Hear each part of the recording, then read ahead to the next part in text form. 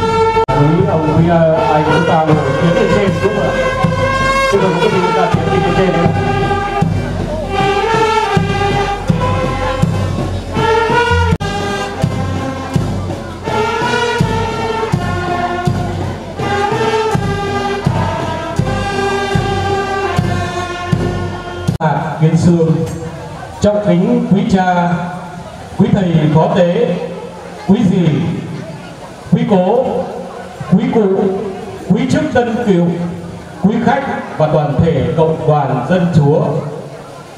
Như lời thánh vịnh 121 ca rằng, ví như chúa chẳng xây nhà, thợ nề vất vả cũng là uổng công. Thành kia chúa không ra tay gìn giữ, uổng công người chấn thủ canh đêm. Chúng con xin cảm tạ hồng ân thiên chúa qua lời chuyển cầu của mẹ Maria, đã thương ban cho giáo họ chúng con từ trước tới nay, nhất là trong thời gian gần đây. Khi chúng con tu sửa lại các công việc nhà chúa, như sửa lại nền nhà thờ, tu sửa và thiếp lại tòa, thiếp lại kiệu, phấn lại các tượng và sắm một số tượng mới, trọng tâm là tu, sửa lại linh đài la vang đây. Xưa kia gọi là nhà vua, họ con yêu mẹ đặt là la vang. Kính thưa quý đức bậc cùng quý khách, linh đài đức mẹ, giáo họ kính danh, được xây dựng năm 1822 qua nhiều đời cụ trùm, duy trì và bảo tồn đến năm 1999 đã được sửa chữa và di chuyển tới đây, trải qua hơn 200 năm, cũng như do ảnh hưởng của thời tiết, linh đài đã bị xuống cấp một cách nghiêm trọng.